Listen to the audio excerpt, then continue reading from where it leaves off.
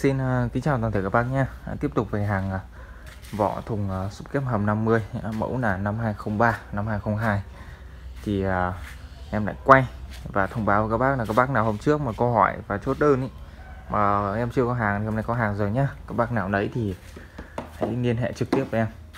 Đấy. Sơn sàn cát. Em về được hai đôi Thì trưa nay là họ sẽ trả tiếp lên một đôi nữa. Thì đây là một đôi em đã bắn à, mút trứng tự âm rồi. Nha. Đôi này là bên trong này em đã bắn à, mút trứng tiêu âm rồi. Trong góc kia các bác nhìn nhìn tinh là thấy này. Đấy, nô nhô nô nhô tấm trứng này. Đấy.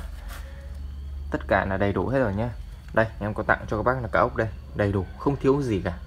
À, sắp tới thì mẫu này mà lần sau em làm sẽ sẽ có quét một cái lỗ đây để gắn cái logo vào. Đấy, các bác về gắn tem gì thì gắn. Được chưa? Đây là vỏ thùng thay thế cho những cái mẫu thùng nó đã kém dần theo thời gian. Con này đánh tiếng rất là kinh nhé nó đầm mạnh êm sâu mà đánh tiếng rất là chắc.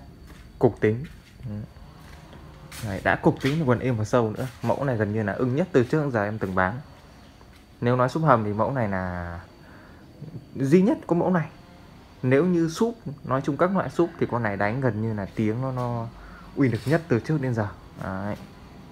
thì đây về được hai đôi nhưng đang nắp trước một đôi. Cái này thì về được mấy hôm rồi nhá? Cái model này thì em về được đến ngày hôm nay là đến 3 ngày rồi. Bận quá không nên video được. Thì hôm nay là cố gắng quay video và giới thiệu lại các bác. Các bác nào săn đón và tìm mua thì liên hệ trực tiếp với em. Hôm trước nhiều số điện thoại của các bác gọi quá, em không nhớ được ai đặt, ai không đặt. Không nhớ được, các bác hết sức thông cảm. Rất nhiều việc linh tinh. Và sắp tới thì em sẽ có một số cái hàng xả hàng cho các bác nha đây nai dây này các bác nào thích nai dây thì em à, xả hàng này. Đấy, vỏ. Vỏ dây đôi 30 được chưa? Đây à, không đây nhá. Đấy. các bác nào uh, quan tâm thì hãy gọi trực tiếp cho em nhanh còn kịp. Có hai cặp nhé về tiếp tục hôm nay ngày mai hai cặp. Còn uh, các bác nào mà đặt nhiều lấy số lượng lớn thì hãy gọi trực tiếp với em cố gắng em sẽ dìm giá tốt nhất cho toàn thể các bác, được không ạ? Ok nhé xin kính chào toàn thể các bác, hẹn các bác clip lần sau.